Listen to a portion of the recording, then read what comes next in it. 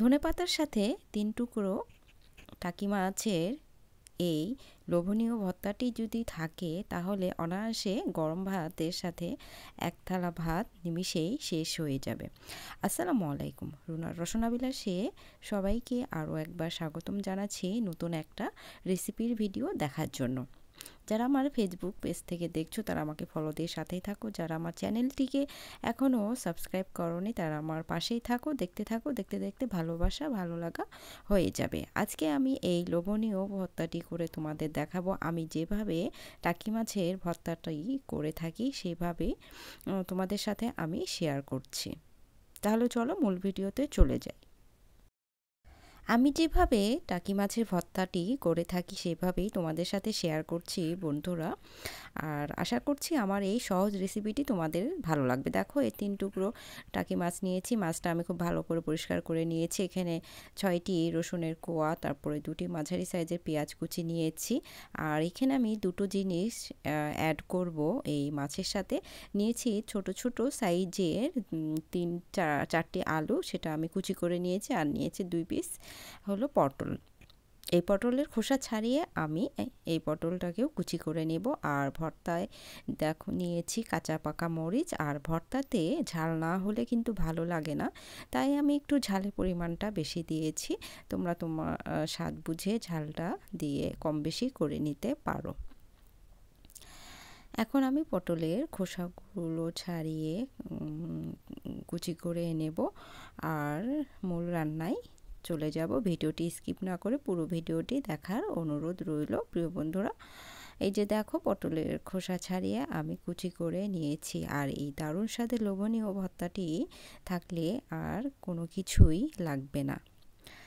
এখানে দেখো মাছটা আমি হলুদ লবণ মাখিয়ে নিয়েছি। মাছটা আমি ভেজে নিব। আমি এখানে মাছটা সিদ্ধ করেও নিতে পারো বন্ধুরা, তোমরা হলুদ লবণ দিয়ে। আমি এখানে মাছটা ভেজে নিয়েছি। এপিট ওপিট ভালো করে ভেজে নিয়ে আমি কাটা ছাড়িয়ে নেব ভালো করে। আমি ভর্তা প্রিয় একজন মানুষ, ভর্তা হলে আমার আর কিছুই লাগে না। আমার কাছে যে কোনো ভর্তা হোক না কেন, আমি খুবই ভর্তা ফেভারেট দেখো, মাছগুলো আমি এপিট ওপিট ভেজে নিয়েছি। আর শীতের সকালে বা দুপুরে যে কোনো ভর্তা হোক না কেন অনায়াসে এক থালা ভাত খেয়ে নেওয়া যায়। দুই পি, দুই পাশ আমি সুন্দর করে ভেজে উঠিয়ে নেব।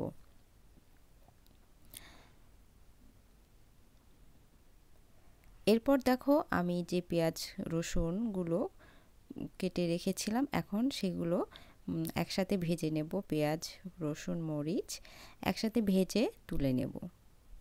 তোমরা একসাথে ভেজে নিতেও পারো বন্ধুরা। আমি এখানে সবগুলো আলাদা আলাদা করে ভেজে নেব।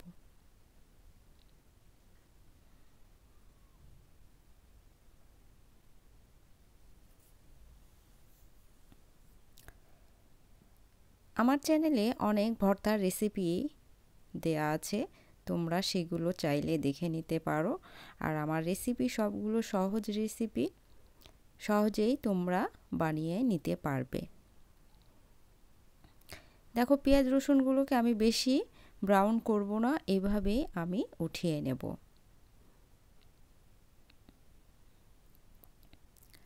আর ভর্তাতে যে কোনো ভর্তা হোক না কেন, একটু ঝাল না হলে ভালো লাগে না আমার কাছে, এই জন্য আমি একটু ঝালের পরিমাণটা একটু বাড়িয়ে দিই।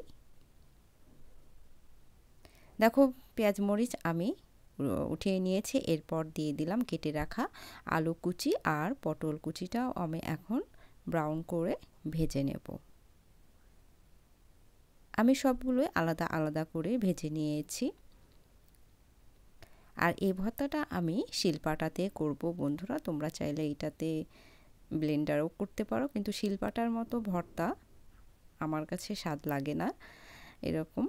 দেখো, মাছগুলো ভেজে নিয়েছি, কাটা ছাড়িয়ে নেব। শিলপাটার ভর্তা অনেক স্বাদ হয় খেতে।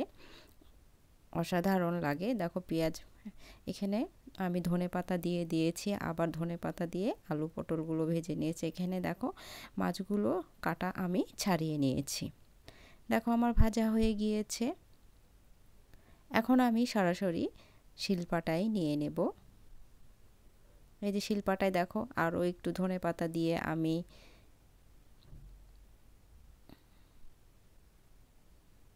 ধনে পাতা দিয়ে আমি বেটে নেব। এই যে বেটে নিয়েছি আর সরিষার তেল দিয়ে মাখিয়ে তুলে নেব। বাস এখন তোমাদের সার্ভিং প্লেটে আমি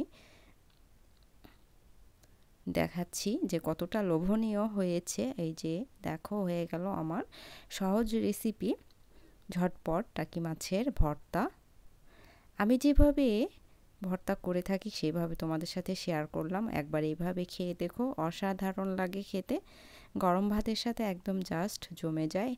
এই ভর্তা দিয়ে এক থালা ভাত তোমরা খেয়ে নিতে পারবে নিমিষেই তাহলে আমার আজকের এই সহজ রেসিপিটি যদি তোমাদের এতটুকু ভালো লেগে থাকে, তাহলে আমাকে সাপোর্ট করো।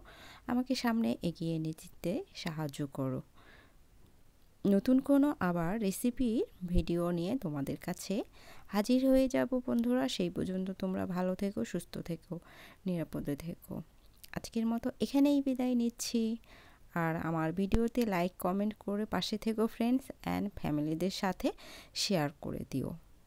তাহলে আজকের মতো এখানেই বিদায়। আল্লাহ হাফিজ।